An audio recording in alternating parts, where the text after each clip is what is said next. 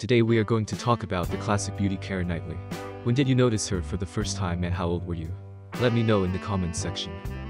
Let me tell you a few interesting trivial facts about her, while you enjoy these gorgeous photos. The 1993 made-for-TV film Royal Celebration was her first on-screen role. London-based West Ham United Football Club is her favorite team. Knightley was nominated for an Academy Award in 2006. Her 20 years of age made her the fifth youngest actress in Oscar history. Knightley was voted second sexiest voice in the UK by the Royal National Institute for the Blind.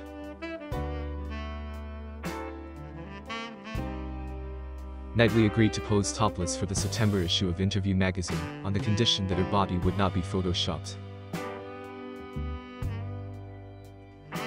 Keira Knightley once said, In this business, fame lasts for a second. You can be blown up and be blown down. People keep losing interest in faces because new ones come along every single second. I'm one at the moment. Tomorrow, I won't be. That's cool. I'm not saying that when it does end, I'll be like, yeah, it's ending. But I'll move on and do something else because that's what has to be done. It's about survival. If you're sad about it, then you're in the wrong job.